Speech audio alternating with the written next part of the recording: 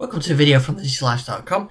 We've got a update for the Surface Duo 2 that came out yesterday. That's the June update. I haven't done one of these update videos for a while, but I thought I'd do one because there's actually some not, noteworthy changes in this. So this is for the June uh, the June update for the Duo 2, not the original du uh, Duo. They usually do those as a separate uh, update and probably coming pr pretty soon. So what's new in this update? Well, I've got a blog post with the details on. But the first thing is the glance bar. So that's the bar on the side here that shows up. And uh, I'm going to try and show you what that looks like. So the notification is something like this. Um, I'm just showing you the charging one here because I can sort of do it on demand. So this is the down the display. You get currently, or you used to just get notifications for Microsoft products, so like Teams. You get um, a purple bar there when you team notification. They now uh, say they support third-party conversation apps, so I'm guessing that's things like WhatsApp. So you're going to see the notifications color uh, bar come up, up on there. It's actually quite handy. You have it on your desk like that, and you see these notifications come up. Something else they've done is enabled haptic control in the camera settings. So I'm interested to see what that's like.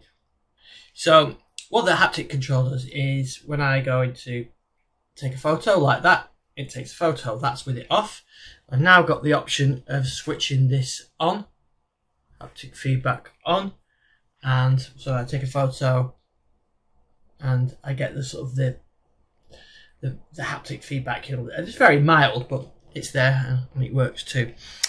So the other thing is the pen, the Duo, uh, the Surface Slim Pen 2. It will automatically do a firmware update when you Bluetooth pair it with the device, which is, which is good, save you having to do it through a PC or something else.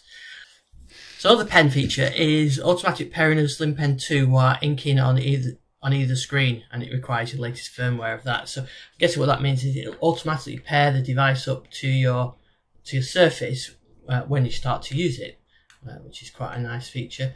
And I just have powered mine up before, and uh, OneNote popped up, so um, uh, that's probably because I've linked this already.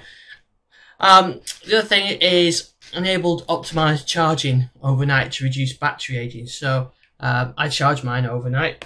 I actually use one of those magnetic USB-C cables. Which I'm just taking off one of these little magnetic ones like that.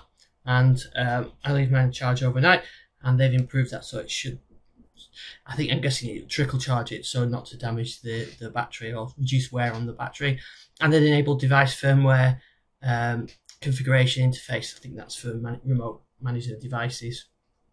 Other things like device stability, system impro improvements, touch responsiveness, camera usability have all been improved, and improvement for in-app camera experience in dual screen mode for applications with dynamic orientation requirements. So, I guess what that is is if you're in an application that uses the the camera, it understands that it's got the, the rotate mode. I think the built-in camera app already uh, gets you know, understands that, but I think perhaps some third-party apps don't. But anyway, that working for that. and the camera is is fast. It's always been pretty fast on the Duo, and this update seems to continue that. Keeps it nice and fast. So those are the changes in the June update for the Surface uh, Duo 2. Of course, it includes all the security updates, the Android security updates for for um, for the Duo as well.